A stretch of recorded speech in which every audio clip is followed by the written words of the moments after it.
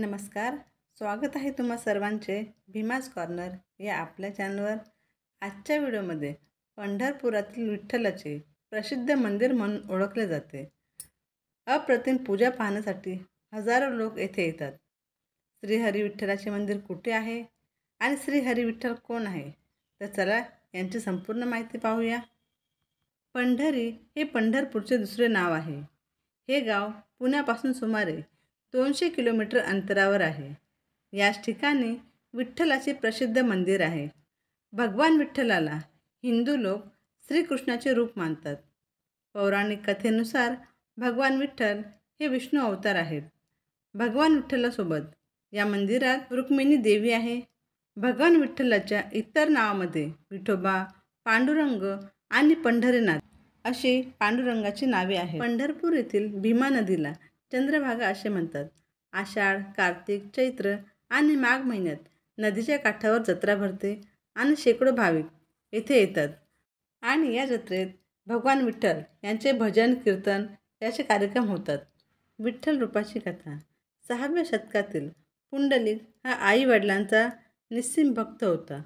विठ्ठल त्यांचे आराध्य दैवत होते.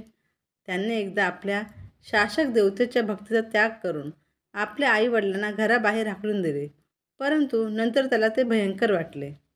तो आपल्या पालकांच्या प्रेमात गुंतला. तो त्याच क्षणी श्रीकृष्णाची आराधना करू लागला.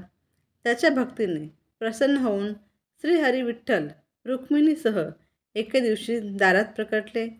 तेव्हा भगवंताने त्याला प्रेमाने उद्देशून म्हटले पुंडलिक आम्ही तुमचा आदरातिथ्य करायला आलो आहोत. पुंडलिक त्यावेळी वडिलांचे पाय दाराकडे ढकलत होता. पुंडलिकने सांगितले की माझे वडील झोपले आहेत. यामुळे मी यावेळी तुम्हाला नमस्कार करू शकत नाही.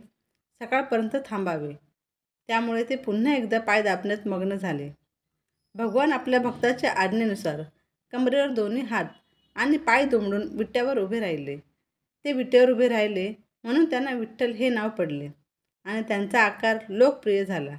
विठोबा हे त्यांचे दुसरे नाव होते.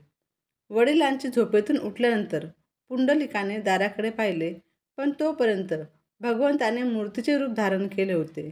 ती विठ्ठल आकृती पुंडलिकाच्या निवासस्थानी बांधण्यात आली आहे. तुम्हाला ही विठ्ठलाची माहिती कशी वाटली व कथा कशी वाटली ती कमेंटमध्ये नक्की सांगा. व्हिडिओ आवडल्यास व्हिडिओला लाईक शेअर व सबस्क्राईब करायला विसरू नका. पुन्हा भेटूया अशाच नवीन व्हिडिओसोबत. व्हिडिओ बघितल्याबद्दल धन्यवाद.